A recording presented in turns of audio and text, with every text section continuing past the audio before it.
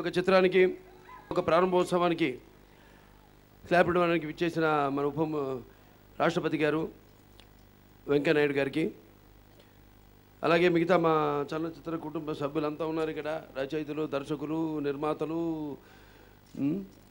నటులు. ఒక్కొక్కరిని పేరు పేరున వాళ్ళకి నా కృతజ్ఞతలు తెలియజేసుకుంటున్నా ఈ ప్రారంభోత్సవానికి విచ్చేసినందుకు. ముఖ్యంగా మా జమున గారు సింగీతం శ్రీనివాసరావు గారు.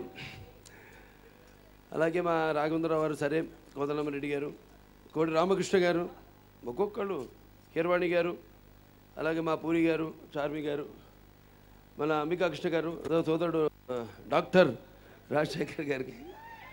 సరే ఇక గోపాల్ గారు డైరెక్టర్ గోపాల్ గారు ఒక్కొక్కళ్ళు అలాగే మా చిత్ర మా తమ్ముడు రామకృష్ణ నా కుటుంబ సభ్యులు అలాగే ఇక మా రచయితలు ఉన్నారు. పరచూరి వెంకటేశ్వర గోపరేష్ గారు జారుకున్నాడు ఆయన. తర్వాత మా సాయి మాధవ్ గారు ఉన్నారు శ్రీనాథ్ గారు ఉన్నారు. ఈ చిత్రం రైటర్స్ రైటర్సు అందరు కూడా ఇక్కడికి వచ్చేసిన ఎన్టీఆర్ ఫ్యాన్స్ వచ్చున్నారు. అలాగే మా నమస్కారం సంవత్సరం కూర్చోండి.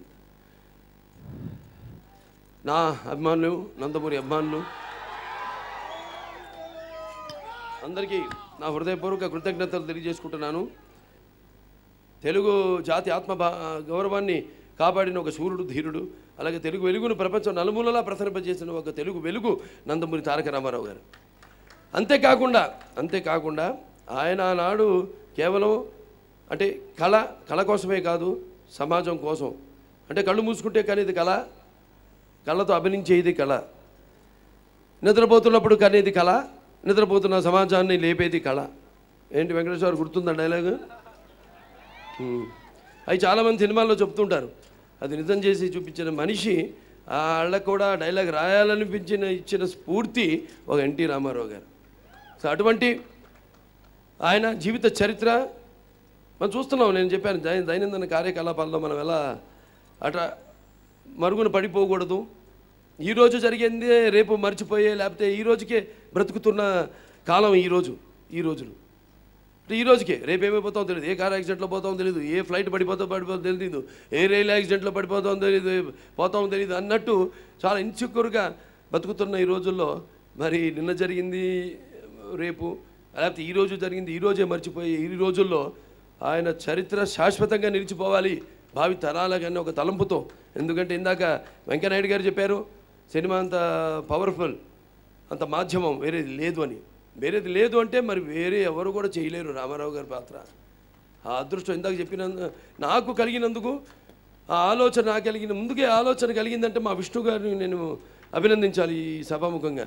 ఆయన వచ్చాడు ముందు నా దగ్గరికి. ఇట్లా రామారావు గారిది చేద్దాం అనుకుంటున్నానండి. అన్నప్పుడు నేను అన్నాను అది అందరం కలిసి చేసుకుందాం. ఎందుకంటే కుటుంబ సభ్యులు మేమంతా కూడా ఉండాలి అందులో దాంట్లో. పాలు పంచుకోవాలి అందులో మా నాన్నగారు కదా అది. మా నాన్నగారి జీవిత చరిత్ర అని అంతా కలిసి సాయి కొరపాటి గారు ముందుకొచ్చారు. నేను కూడా ఉంటాను ఇందులో భాగంలో. ఆ పుణ్యంలో నేను కూడా కొంచెం పాలు పంచుకుంటానని. ఆ నాన్నగారు రకరకాల పాత్రలు చేయడం మంచి పండు వయసులో భీష్ముడు చేయడం లేకపోతే ఒక రాజు పేద చేయడం అంత గ్లామర్ హీరో. అదే నాకు భైరవ దీపంలో ఇన్స్పిరేషన్. సింగెత్తు శ్రీనివాసరావు ఉన్నారు ఇక్కడ. మరి ఆయన అది భైరవదీపం శ్రీకృష్ణార్జున యుద్ధం ఆదిత్య త్రీ సిక్స్ నైన్. ఆ రోజుల్లో ఈ గ్రాఫిక్స్ అన్నీ లేవు. యూమాటిక్ యూమాటిక్తో షూట్ చేసాం Aditya three six nine Bhairavadweepam అద్భుతమైన సినిమాలు. సో ఇలా నా జీవితం వాళ్ళకి నేను ఇది సభాముఖంగా ధన్యవాదాలు చేసుకుంటున్నాను. నా మీద నమ్మకంతో నా నిర్మాతలు వాళ్ళ ప్రతిభా పాఠవంతో వాళ్ళకున్న అనుభవంతో ఈ సినిమాలన్నీ చేయడం వీటన్నింటినీ ఘన విజయం చేసిన ప్రేక్షకులు కూడా ఇందులో వాళ్ళకు మీకు కూడా ఘనత దక్కుతుందని ఎందుకంటే తెలుగు వారికి ఎప్పుడు ఒక కొత్తదనం ఉంది. నాన్నగారి నుంచి అది అలా వస్తుంది వారసత్వంగా. ఆ వారసత్వం నాకు సంతరించినందుకు ఈ సభాముఖంగా అందరికీ ప్రేక్షక దేవుళ్ళందరికీ నా ధన్యవాదాలు తెలియజేసుకుంటాను. జమున గారు ఉన్నారు ఆవిడ అక్బర్ సలీం అన్నారు కల్లో జోధాబాయ్ నా తల్లి వేషం వేశారు ఆవిడ. అద్భుతం అసలు ఆవిడ ఈ నటన గురించి నేను మాట్లాడడం సినిమాలు సినిమాలో చెప్తే ఆవిడ అద్భుతమైన సినిమా. ఒక్కొక్కటి సత్యభామ అయితేనేమి మిస్సమ్మలో ఇవన్నీ అద్భుతమైన పాత్రలు ఆవిడ ఇప్పటికీ. అదే ఇందాక ఆవిడ లేవబోయారు నేను వచ్చినప్పుడు. లేవండమ్మా అన్నాను. మనం కూర్చోండి ఎందుకంటే అంత హుషారు ఆవిడ ఆవిడ మర్యాద గురించి కాదు అక్కడ విషయం. ఆవిడ చూస్తే మనకి ఒక ఇన్స్పిరేషను మామూలు ఏమంటాం ఎందుకమ్మా మీరు పెద్దవారు కూర్చోండమ్మా అంటాం. నేను అలా మాట అమ్మ లేవండమ్మా. ఎందుకంటే ఆ జనరేషనే వేరు. లేవడం మర్యాద గురించి కాదు నేను అక్కడ నేను సంతరించుకు అక్కడ ఆవిడ ఒక ఇన్స్పిరేషన్ ఆవిడ ఉన్న ఇంకా ఈ వయసులో కూడా ఆవిడ అబ్బాయి వయసు గురించి మాట్లాడకూడదు. అద్భుతం. చాలామంది అందరు వచ్చారు. అందరికీ మరొకసారి నా ధన్యవాదాలు తెలియజేసుకుంటూ ఈ మొన్ననే ఉగాది అయింది మనకి. రుద్రనామ సంవత్సరం.